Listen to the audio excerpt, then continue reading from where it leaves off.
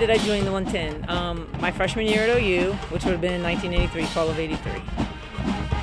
I was the second female in the cymbal line, but the third female overall in the whole percussion section. Robin Hendren, who was the reason I tried out on cymbals my sophomore year, was the first female ever. Favorite part of coming back from homecoming is the parade. I absolutely love the parade.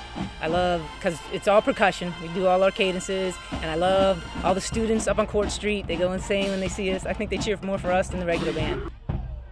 This is my 20th year. I've only missed once, and I was injured. I had a cut in my hand and couldn't play, so I've, I've made 19 homecomings now.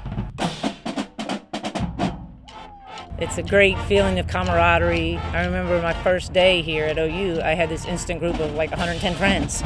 We all loved music, we loved playing and performing. And these kids have the same exact thing. So I don't think there's that big difference. I think music is a universal language. You know, even if you're just banging a cymbal or beating on a drum, that it just it makes a, a great way to get to know people and be friends with each other. My name is Gay Hammon. I was class of 1987.